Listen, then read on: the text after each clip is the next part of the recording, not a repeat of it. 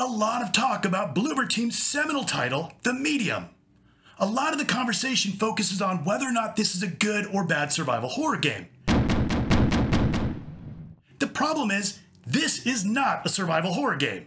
So today we're going to talk about what this game actually is and whether or not it's worth your time. I'm Adam Scott, and this is The Medium.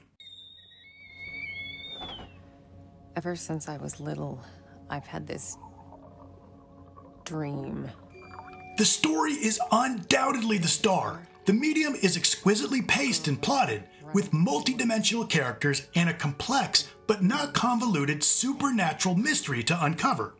The story opens with a strong emotional gut punch as Marianne prepares the body of her adoptive father for a burial shortly after his death. Without many words and without overt emotions, you feel the weight of the moment. This is accomplished throughout with both incredible writing and expertly delivered voice acting from Kelly Burke. I guess I didn't know what to expect. When things get personal, it, it just burns you from the inside out. We soon learn that Marianne is able to connect with the other side and is driven to the Niwa Hotel to uncover the origin of her clairvoyant abilities. The story tackles some heavy themes such as domestic abuse and even genocide, but the concepts aren't portrayed in a gratuitous way for mere shock value, and the mood never slips into despair.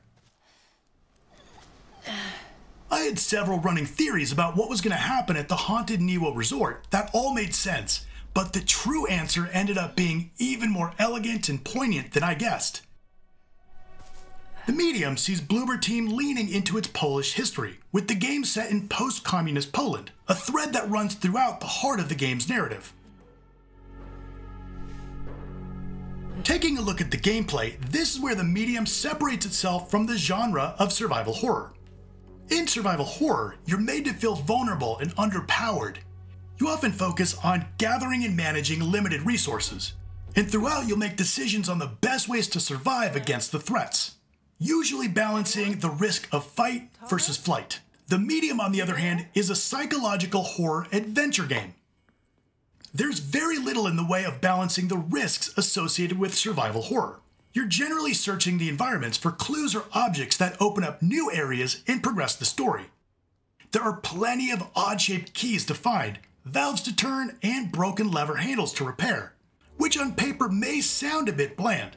However, using Marianne's reality phasing abilities to uncover and obtain these items makes the medium feel distinct, and that kept me engaged in clearing a path through its increasingly ominous obstacles.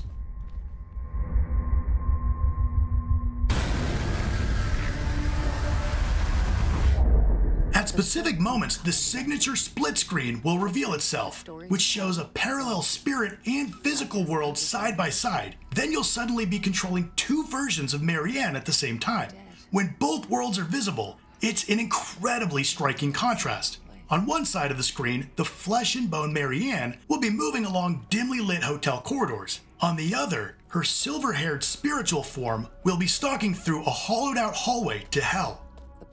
On both sides of the divide, the environments are exceptionally well realized. However, the spirit world is particularly eerie to explore and truly feels otherworldly, with nightmarish landscapes that feel like we're peering directly into the abyss. Displaying both realities at the same time isn't just done for stylish effect, there's a practical purpose too.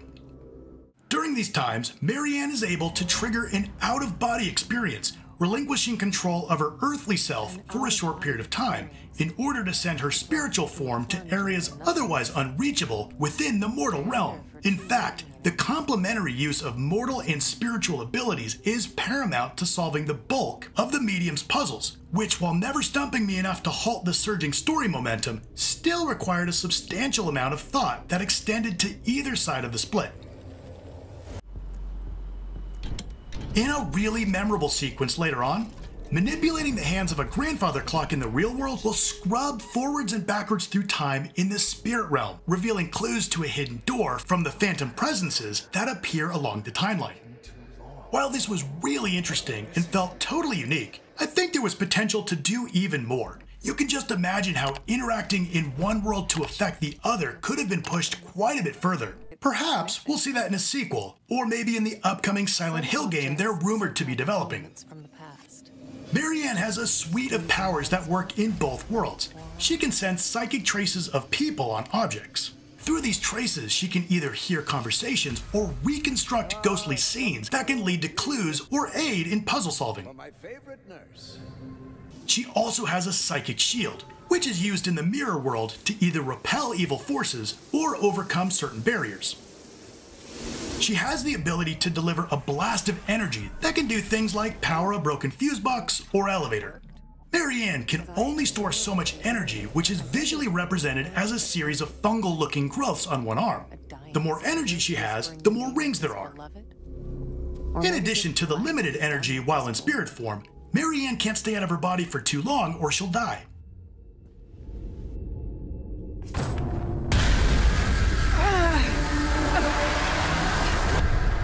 Besides Marianne, there's only a few other characters, and two are real standouts. One of them, called Sadness, you meet early in the hotel's spirit world. She's a one armed girl with a porcelain mask for a face, and skin not entirely covering all of her joints. Her look invokes empathy and pity, which is further heightened by the expert voice work by Mary Elizabeth McGlynn. I mean, you seem pretty cheerful to me. Well, it's what I remember. Um, my friends used to call me by a different name. But I don't remember what it was. The other standout is the main antagonist, known simply as the Maw.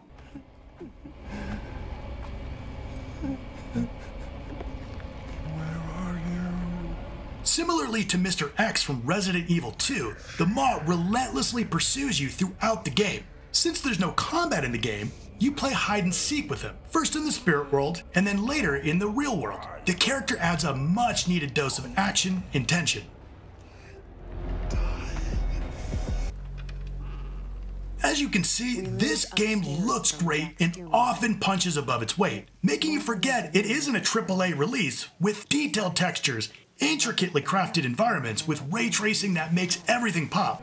The performance was solid at 4K, but only at 30 frames a second. This is a bit disappointing, but a likely trade off considering the split screen mechanic. The locations feel real but decayed, once alive but now long dead. The Niwa Resort is the epitome of brutalist architecture from post communist Poland.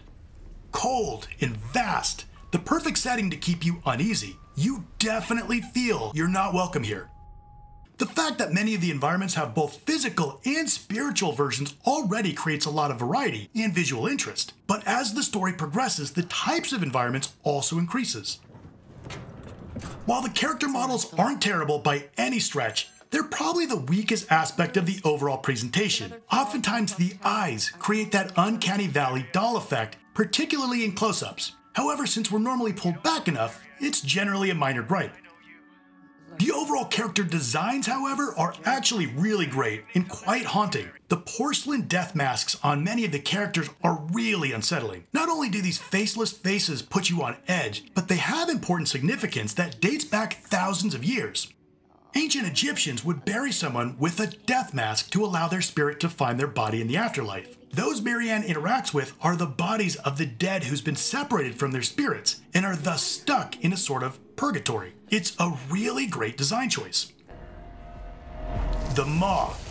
Ugh, the Maw may go down as one of video games' most terrifying villains. He's right up there in the same company as Pyramid Head from Silent Hill 2 or Lisa from PT.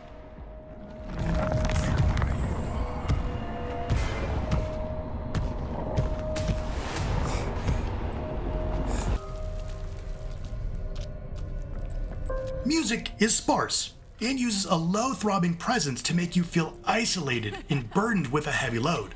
Sound and environmental cues are excellent and also highlight the mood with disembodied voices moaning or the sounds of mournful wind chimes. The voice acting is amazing and one of this game's big strengths. I've already mentioned the wry delivery by Kelly Burke, where you really connect with Marianne, or the sadness conveyed by sadness. But the Maw, is voiced by none other than Troy Baker, who's basically a voice acting legend and really shows his range with this otherworldly and ominous presence.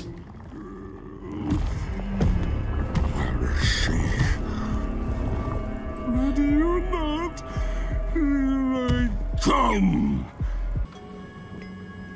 The Medium uses the fixed multiple camera views of the early Resident Evil and Silent Hill games to create tension in a claustrophobic ambience.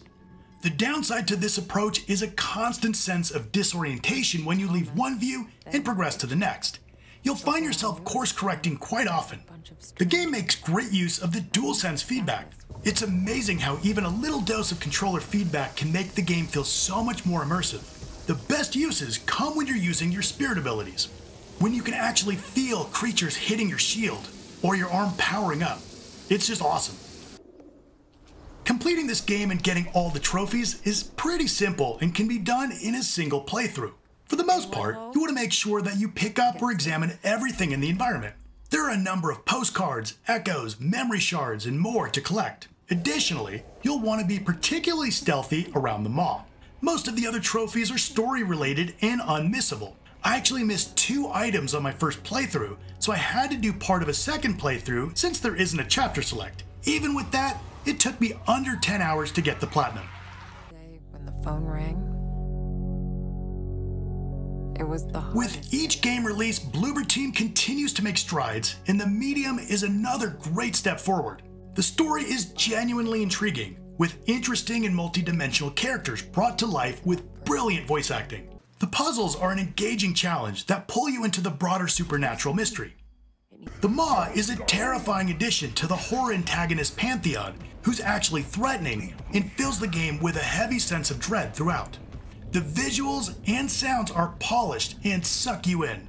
As long as you don't go in expecting survival horror, I recommend this title to any lovers of psychological or spiritual horror.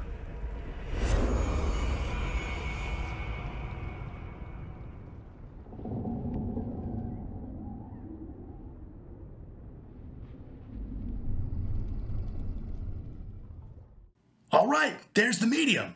If you've played it, I'd love to hear your thoughts on it. And if not, has this changed your mind about what this game actually is? Let's talk about it in the comments down below. Now, if you're looking for great survival horror, you can check out my review of Tormented Souls. If you like this video, go ahead and click that like button. If you're not subscribed, right now is a great time to do so. Appreciate you watching, and I'll catch you next time.